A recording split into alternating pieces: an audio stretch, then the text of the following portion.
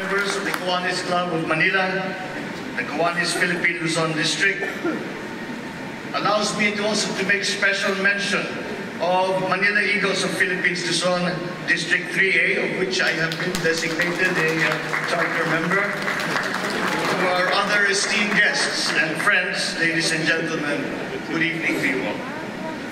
Thank you for having me here in your handover rites and installation of officers. It is my honor to take part in this assembly of the Kiwanis Club of the Philippines, which has continuously proven itself as a formidable voice and effective arm of Philippine civil society, no less composed of brilliant, influential, and successful Filipinos who excel in their individual fields and chosen crafts. Allow me to take advantage of tonight's gathering of our friends from Kiwanis to stress on certain pressing and dire issues of our country today in an attempt to call on and to marshal support from the Kiwanis Club of the Philippines. All of us have heard about the strong and unprecedented economic gains posted by the country, which Malacanang has always been very quick to bask in its glory, to find to the credit of the present administration. Experts suggest that this economic surge of the country can be explained by its burgeoning young population, theorizing that higher, product, higher population means the increased productivity and also higher demand for goods and services, among other significant factors. For everybody's information, today's Philippine populace has an average age of 23 years old, way below the global average of 30 years old.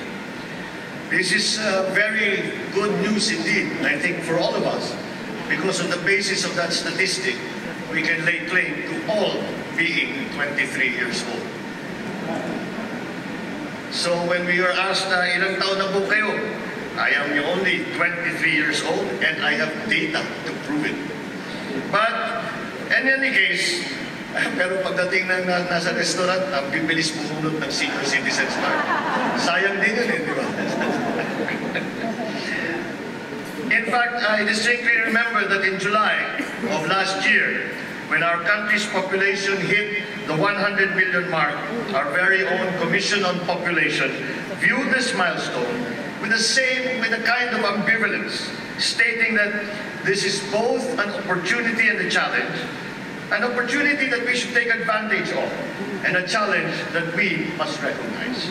Our soaring and promising economic growth has also been attributed to the consistent performance of our tourism industry, which has even led the international community to observe that the Philippines is a rising star in travel and in tourism. However, in spite of all these world-renowned and positively viewed attributes of our country, these same qualities may have proven to be also the bane of our own existence as a nation. Let us consider some of the harrowing figures which reflect the dark side of our attributes as a young nation with a young population and as a popular tourist destination. The PNP Women and Children Protection Center has reported a staggering spike in rape cases in our country, from a 15-year average of almost 4,000 cases to upwards of 7,000 cases in the past year.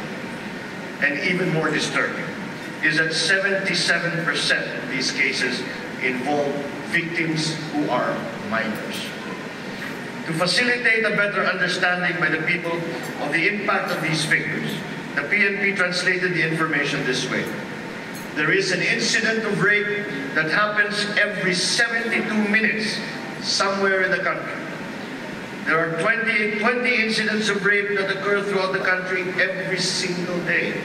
And 15 of these incidents, again, involve minors. At the same time, the trafficking of persons is a scourge of our country's tourism potential. Hindi ko pinag-uusapan yung terribling traffic na kasalukuyang dinadanas ng, ng lahat ng taga Metro Manila. Araw-araw, gabi-gabi, iba yun. But I know many people are really trafficking our streets now with their two and a half million cars, especially along SM. It is alarming, but that is only alarming to our drive home tonight. We have many more, much weightier problems to, to contend with. I am referring to the evil of human trafficking. Sex tourism is the evil alter ego of our country's tourism industry. Hundreds of thousands of Filipino children lay prone and lay prey to sick and perverse sexual predators, both local and foreign, who come to the Philippines in the guise of tourism, but in reality for the purpose of satisfying their dark and sinister desires and victimizing our young people. This is not, this is, and this is to say nothing further about the thousands more cases that do not involve minors, but involve adults as well. The list goes on. In fact, as we speak, our children are being recruited as members of armed rebel groups all over the country. Upon recruitment, these children will start and spend the next chapters of their lives get, uh, getting brainwashed and immersed in a culture of hate against government and the heartless and senseless violence and aggression towards even their own fellow Filipinos. All these facts and figures show that as a result or in exchange for the pursuit of economic growth, the foundations of our progress provide the very seedbed that make possible and perpetuate the conditions allowing for the utter and reckless disregard of the rights of Filipino children. According to the grandson of one of Jose Rizal's former students in Dapitan City, this is the result of our multiple failures, a failure of our morals, a failure within the family, and a failure of society. I would venture to add another point of failure. That would be the failure of government. On the part of Congress, I can say with pride that we have tried to do our part and continue to do our part the country is not lacking in the needed legislation to curb these problems of our society. Congress has legislated and, and many and uh, deliberated many important laws that precisely intend to empower government to address these evils and also provide the resources to finance the relevant offices and agencies for their programs year in and year out. I guess that it all boils down to inadequate enforcement. So if the present administration can boast with confidence and proudly lay claim to the country's supposed economic gains, then it should equally have the courage to say, mea culpa, and accept responsibility for the continued proliferation of these dastardly and despicable acts and practices that are that lay prey to our Filipino children. It is in the face and on the way of these perceived failures that call on and enlist the help of our society, of our civil society. In the spirit of compassionate and selfless voluntarism, for you, for them to come in, to contribute their share, and to compensate for government's noted inadequacy in these important departments as an established, organized, and credible civil society that professes to serve the children of the world and to improve society one child at a time, one community at a time. The Kiwanis Club is the perfect partner of the Philippine government and the Filipino family in addressing these ills of society that plague our country. Today. Of course, through your usual and familiar direct, on-the-ground and high-impact programs and projects. Either you can act as the watchdogs yourselves, or at the very least empower and support the watchdogs, such as our police force, especially the Women and Children Protection Center of the PNP. Our police force will certainly appreciate the much-needed boost not only in their morale, but also in their resources, considering that the efficiency of the PNP has always been hampered by institutional weakness, such as those owing to manpower and budgetary constraints. In partnership with the private sector, our police force can be better equipped in finding ways to strengthen the rep reporting and complaint mechanism, while at the same time ensuring and upholding the sanctity of the confidentiality and secrecy of the identity of these information. Note that our police has precisely identified the weak link to, the, to be the victims' natural hesitation to come forward to tell these terrible, hor- harrowing, and sordid tales. Inasmuch as their privacy, their dignity, their honor, their self-respect are on the line.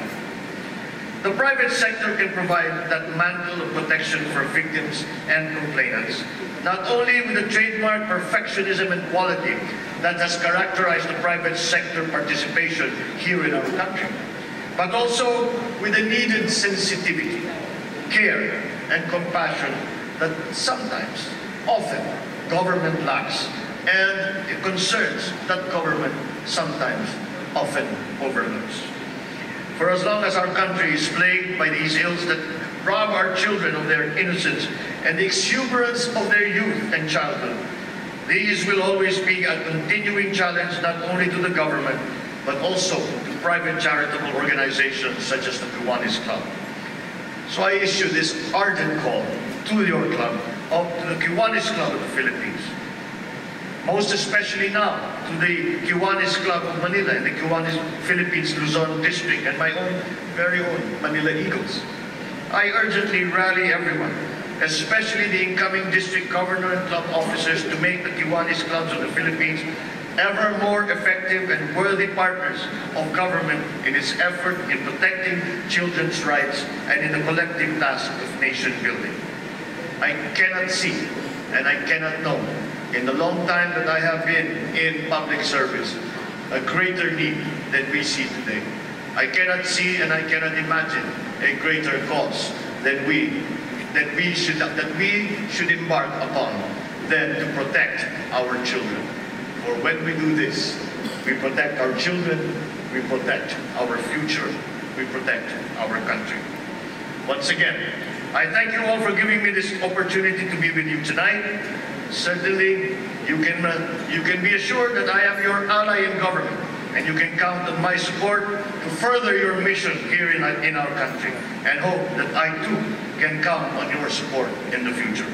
Congratulations to you all, especially to the new district governor and the club officers, who we shall induct into their respective officers in a short while.